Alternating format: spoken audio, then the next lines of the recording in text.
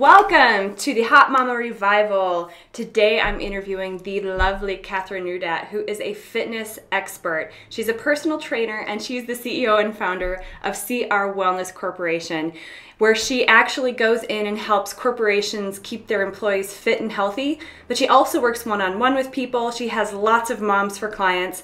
And I've actually known Catherine for I believe like 13 or 14 years now. We actually met years ago in Newport Beach.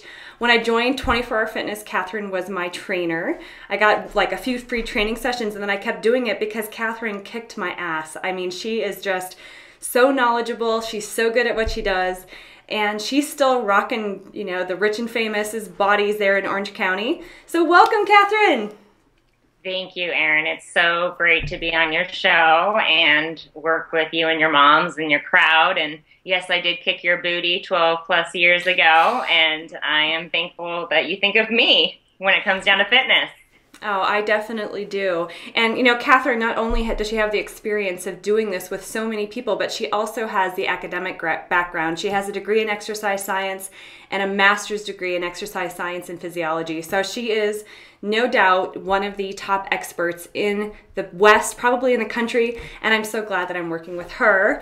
Uh, so today I just wanted to ask some of the questions that you know people have been asking me and I give the answers, I do research, but I think that hearing the answers from you is a really, really powerful thing because you actually have the academic background and the ex- experience. So, the number one question, Catherine, that I get asked is how can I get my core toned? Because so many moms, after giving birth, you know, your stomach stretches way out here and they just have a hard time. You know, they might even lose the weight everywhere else, but the stomach is just so hard to lose. So, how can we get our stomachs flat again? Okay, that's a great question. Now, to preface on how to get your stomachs back in shape, we do want to remind everybody that there's no such thing as spot reduction, okay? So, it's important to know that wherever you're losing weight first after having a baby, um, or just in general getting in shape, you might get annoyed that your legs are getting thinner or your arms or your face is getting thinner, but your abs are still holding, you know, the fat mass, and then it's the last thing to go. So you could do as many sit ups or as you want, but you're not to, you know, see the results there necessarily at first. You will once you, you know, lose the fat in the other places. So I just want to be honest about that. And then the best exercises you know, I don't believe in crunches and yanking on the neck. There's so many ways to work your abs. Uh, for example, doing the plank. I always say, you know, Google plank online and you'll find all different ways to do the plank, you know, with both hands or on your side. Um, great, safe exercises that work the entire abdominal muscle to get it strong. Now, when you're losing the fat tissue around those strong muscles you're building, that's your diet and that's cardio. So, what percentage would you say of weight loss is actually the exercise, and what percentage is the diet? Because for me, I've always thought I could control my weight and my size with just exercising, but as I get older, it doesn't seem to be quite as effective. So, can, can you yeah. tell us what what's the actual percentage so we can know what we actually need to focus on? Truly, it's about an 80 20. 80% of what you eat gets you to your results. 20% is exercise. So you can exercise till you're blue in the face, but until you clean up that diet and you know watch the foods that you're eating, uh, you you won't see results nearly as fast. So, what would you say are some easy tips for the busy mom who's just wanting to lose weight but doesn't necessarily want to make separate meals for her family and for herself? What are some easy things that she can do to improve to clean up her diet? Like, what does a clean diet mean to you? A clean diet to me uh, means, and this is what I coach on, anything that grows out of the ground, falls off a tree, swims in fresh water, um, or is an animal source that's hormone free or not caged. Uh, those clean, lean foods. Now that's, you know, shopping the supermarket and staying out of the processed area. So the right. cleaner you eat, meaning growing out of the ground, falling off a tree, you literally have to ask yourself, did that Triscuit fall off a tree? You know, and it didn't. And so it's not the best choice in carbohydrate. um, hmm. nutrition wise, and getting you to your results. So, what are the best carbohydrates? What are the best carbohydrates? Because I think there's the a lot of confusion. Yeah, that's a great question. Best carbohydrates are fruits, vegetables, um, sweet potatoes, real true whole grain rice. Now you need to look at the package, and this is how you do it. You have to look at the package, and at least has to have five grams or more of fiber per serving. So there's a lot of commercial products out there that'll even say brown rice, but if you look at the package, it has one or two grams of fiber, and they've actually stripped the nutrients of it. So you're getting fooled. I've so heard that with whole wheat bread it, too. That whole wheat bread, a lot of it, it's refined flour. Food. Yeah, Exactly. Uh, whole wheat bread, even with crackers, if you're going to go more processed, which we all, you know, eat some processed, that uh, you want to have at least five grams of fiber per serving. Well, so one of the things that a lot of people ask me about is my opinion about the paleo diet and the Atkins diet. Those seem to be two that people really jump to. And some people have a lot of success with the Atkins diet, but personally, I have a lot of trouble with it because I feel like, of course, you lose a lot of weight when you cut out all carbohydrates. Uh, but then it seems like people, when they go off of it, they just gain the weight back. And then also the paleo diet seems really restrictive with no, I mean, it just, you have to stick to such a, um, you know, small amount of things that you can eat because you're not supposed to eat any refined flour or any processed food. What are your thoughts on those two diets? Um, on those two diets, particularly the Atkins diet, where they take out complete carbohydrates, mm-hmm. zero carbohydrates we want to remember that our body and our brain functions off of glucose, and glucose is carbohydrates. So we absolutely 100% want carbohydrates in our system because when we don't have carbohydrates in our system, we're tired, we're cranky, we're irritable. And when people think that they're losing weight, the first thing actually, when your body runs out of glucose, the first thing your body will break down to make glucose to survive is actually your muscle tissue. Ooh. So when people are losing dramatic amounts of weight, it's not fat tissue, it's initially muscle tissue and water. So you're losing your mm. metabolism. That's why a lot of people on the Atkins, it's hard to keep up because your your body functions off of glucose in your brain. Um, and then when they start eating like they used to, they don't have the muscle tissue, which is your metabolism to maintain burning that many calories that they normally would throughout the day. So sometimes they tend to gain even more weight back. Yeah. So that's what my dad did. You know, exactly. So, you know, it's still the same fruits, vegetables, and grains. People just tend to overeat on carbohydrates. We have to remember you have to earn your carbohydrates. Okay, so if you're very complacent, inactive, you know, you, you need some carbohydrates during the day, but not that much. Um, if you're the more active you are, the more carbohydrates you need, but you still want to eat the fruits, the vegetables, the whole grains, the sweet potatoes, the things that actually offer nutritional value. And then as far as the uh, the, paleo the paleo diet, which is so popular, you know what I like about the paleo diet is that they do encourage eating lean and clean, meaning you know, eating fresh fish, you know, meat if you want, vegetables. They encourage eating berries and uh, like sweet potatoes. I think they underestimate the importance of carbohydrates, however.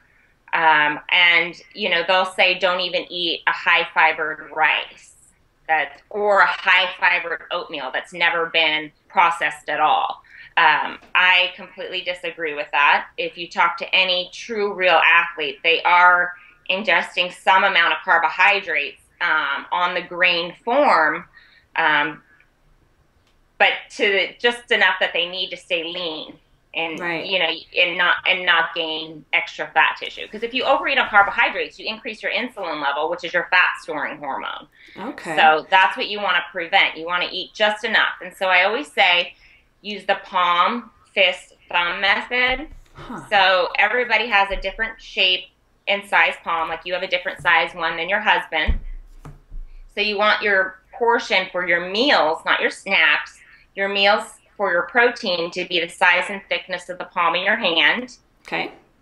And then your carbohydrates, the size of your fist. And then you want to have a little fat so about the size of your thumb, a couple slices of avocado, or if you're cooking with olive oil or canola oil or coconut oil. You just need that amount per meal, not for the day, per meal. Huh. That's Does brilliant. That, make that Yeah, makes so much sense. is- Well, the reason is is because if you eat carbohydrates alone, you spike your, in, you know, your insulin and your blood sugar level. Okay. Okay. If you eat protein alone, your blood sugars lay low. But when you match them up and include fat, fat with it, they stay nice and balanced, and you're in a state of what they call lipolysis. So lipolysis is in a fat burning mode. So if Which you want want. to continuously be in a fat burning mode, meaning you're using your fat tissue for your energy, whether we're sitting here having a conversation or you're out and about, if you've balanced your meals, you're using fat as your energy source. And I, you know, most people want to do that. Well, I actually have a question about alcohol because, you know, in my book, I recommend wine. Apparently, too many times for my mom. She actually make, made fun of me about it. Um, but I, I really think that a glass of wine now and then is so healthy and uh, it's so important for moms. What do you think about alcohol and what like what's too much and too frequent? Like, can we drink every day? Can we drink just once a week? What's what do you think? Well, I live the European lifestyle, and I 100% am totally down with people having glasses of wine um, or a cocktail or whatnot. And actually, per the American guidelines, you're allowed one cocktail a day. Um, you know, and it's not saving up to have seven on a Sunday, uh, which is really easy. But having a glass or two of wine on a daily basis, the Europeans are a lot healthier than us because they move more, they act more, they're less stressed out. They have a glass of wine at lunch and a glass of wine at dinner. They don't drink to get drunk, they just drink Right. as part of their culture.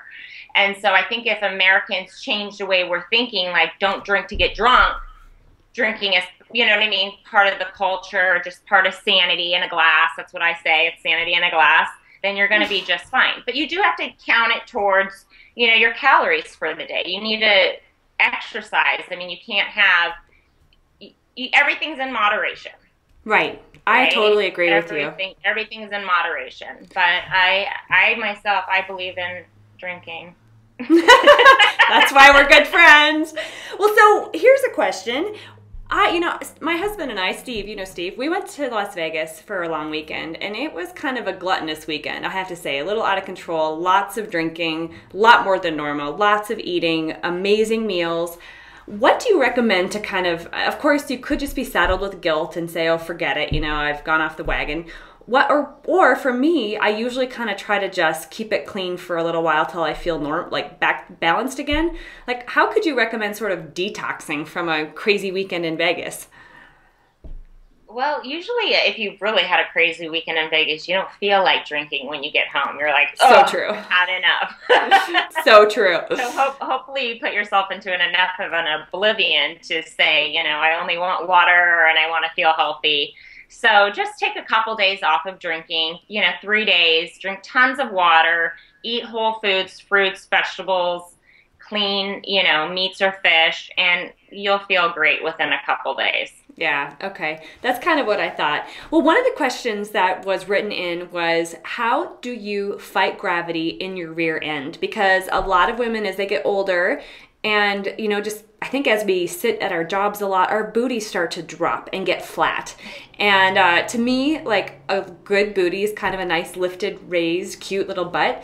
And you know, obviously, other women are having the same concern. What do you recommend? What are the best things we can do to keep a nice lifted booty? You want to keep a lifted booty, absolutely. Want that round, tight booty. And it is possible to keep, okay? But you have to work at it. So there's great exercises you could do at home. Uh, step ups using your own stairs. I always recommend if you have stairs in your house to do three sets of 20 step ups on each leg. Anything with an inc- in, with an incline. So even if you have a treadmill and you're walking, put it on an incline. Um, squats if you have if you're able to do that with knees use a chair in your house down and up three sets of 20 if you once that's easy add dumbbells with your hands so lunges as well stationary lunges or walking lunges so between lunges squats step ups you know and walking or running at an incline or running stairs you're gonna consistently Yes. not just you know once a month consistently, you're gonna you're gonna build that booty. It's your it's muscle tissue, so you can build it and rock it. Well, here's another question, kind of similar. A lot of women that I've coached are worried that you know if they lift weights if they do too much with weight that they're going to get bulky. What do you say about that? Because i feel like there's a lot of misconceptions like how do you get the nice lean muscle? And can women really get that bulky you know too big of muscle by lifting weights? Yes a lot of women are in fear of uh, lifting any type of weights because they're afraid they're going to end up looking like Arnold Schwarzenegger. Yeah. Um, the truth is, it depends on your muscle tissue type. You have two types of muscle tissue. One is type one, and one is type two. And how you know if you're type one or type two um, is that ask yourself: Are you um, a long distance runner or are you a short fast sprinter? Um, and if you're a long distance runner, meaning you can run miles on end and feel good, you can almost guarantee your type 1 muscle tissue. That's endurance muscle tissue. Those type of people can lift weights and even heavier weights put on muscle tissue, but really don't have the ability to get big and bulky.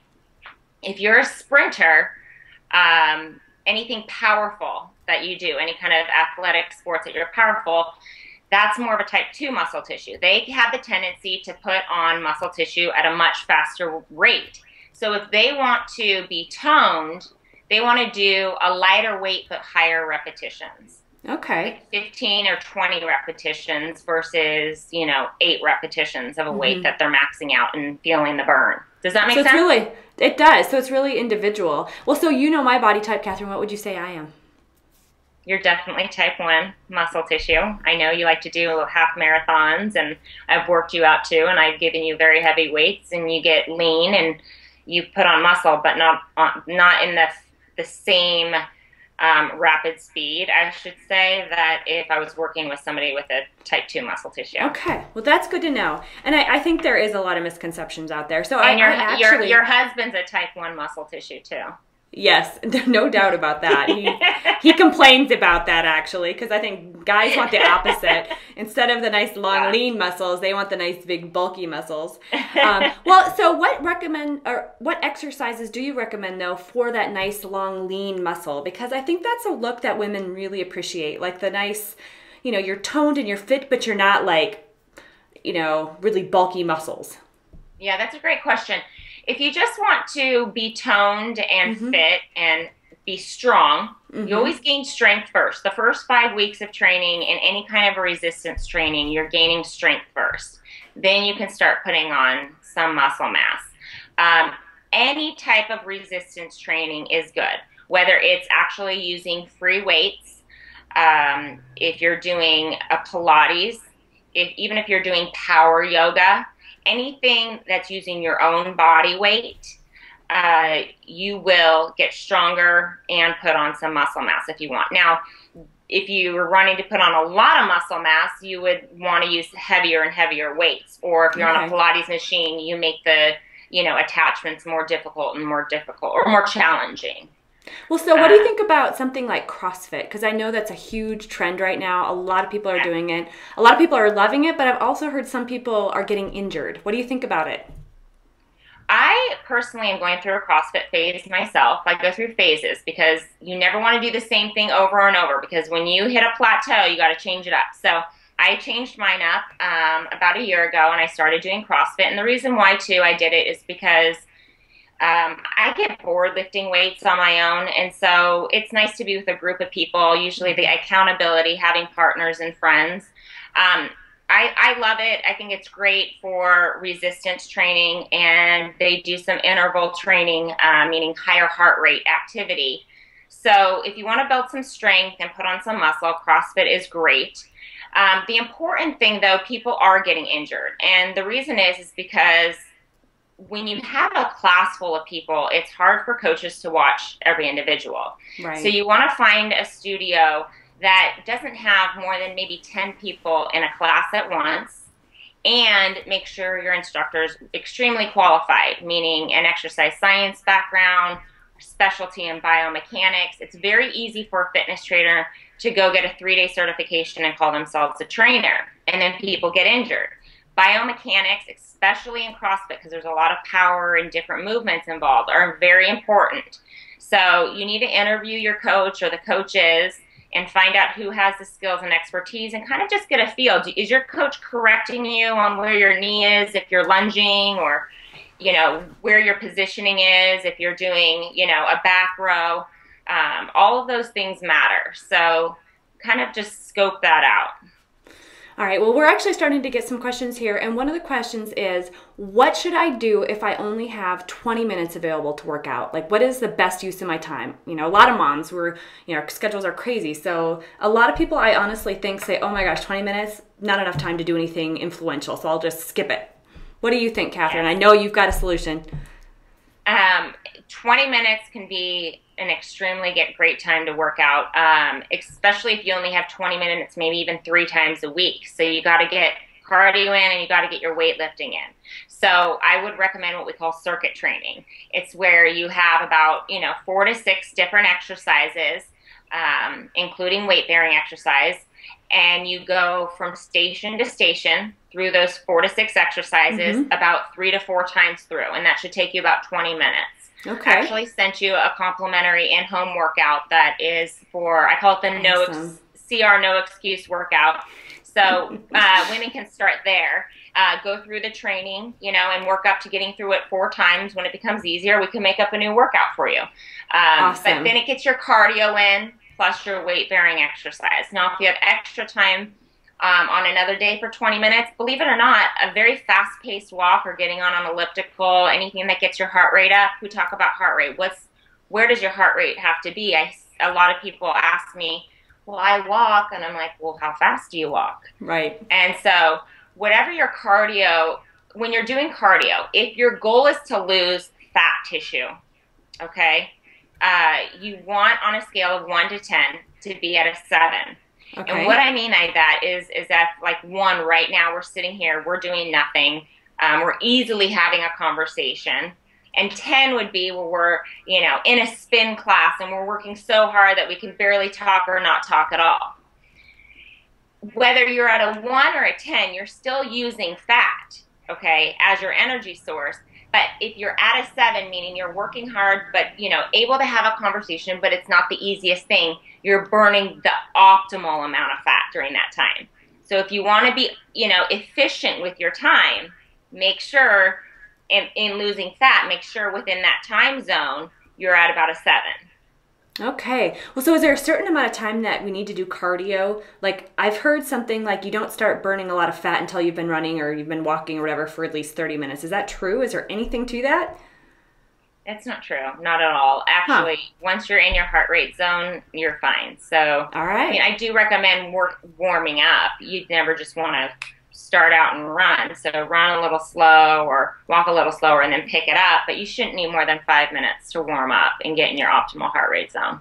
Okay, well, that's good to know. Well, another question that I've had here, which is a very good one, is how can, what exercises can I do to lift and strengthen my post nursing breasts to make them look perkier? Okay. I love it that I am just so honest because this is just what people need. I'm like the honest trainer out there, and you're to get the real deal. Okay, there's a difference between pectoral muscles, or we call them, you know, your chest muscles, but what they're really called, you know, correctly is your pectoral muscles. And then the things that are on top of your pectoral muscles are called breasts, okay? so your breasts are completely fat tissue. Okay, so yes. you can strengthen your pectoral muscles or your chest muscles by doing push ups or, you know, bench press chest exercises. However, those exercises are not going to affect the fat tissue. You cannot tone fat tissue. So if your mm-hmm. boobs are falling and then you breastfeed, sweetheart, they are going to keep going south. You can do two things wear a push up bra or get a breast augmentation. That's it.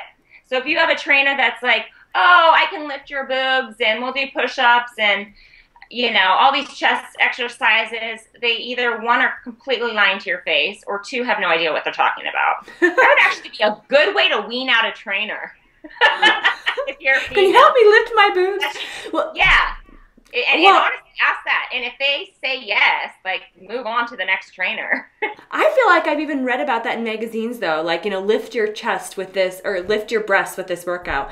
And so that is actually really good to know. And it's kind of sad news for mamas that have well, breasts it, that are going in the wrong direction. You, but you have to remember most things that you, you know, read are all marketing material. So, you know, you have all these supplements on the market that say there's fat loss in it or, you know, it's going to speed up your metabolism.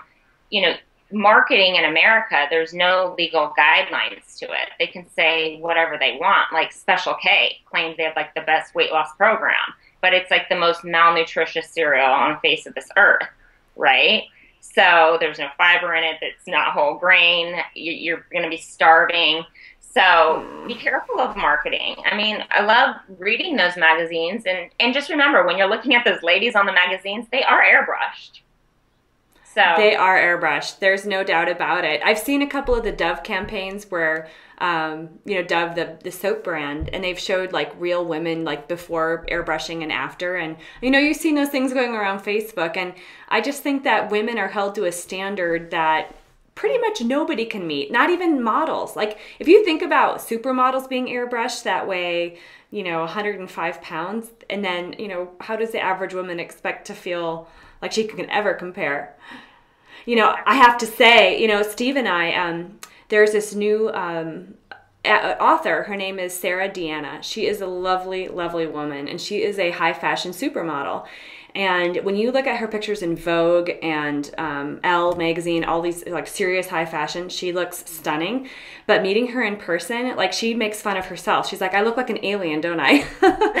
and just seeing what that kind of skinny looks like in real life, it's it's really skinny, like really skinny. So you know, a lot of women, your body does change after having a baby, and some of that's okay, and also some of it's aging. I think a lot of the stuff that we blame, you know, childbirth on, which it doesn't help, but our breast starting to sag, our butt starting to sag, a lot of those things, don't you think, Catherine, are just getting older a little bit? Absolutely, and less active. Um, they say yeah. past the age of 30, people start to uh, lose one pound of muscle tissue a year on average. Well, the reason why that's happening is because it's only happening in America too, because it's you're having less and less activity. Yeah. So if you want to keep your muscle tissue, you can. Just like if you have bone density issues and people have osteopenia or osteoporosis, it's reversible. Okay, mm-hmm. by weight bearing exercise. My oldest client was 93 years old, and her bioscans for her bone density were going up every year. Your body's an amazing machine. You can keep your muscle, improve your muscle, improve your bone density.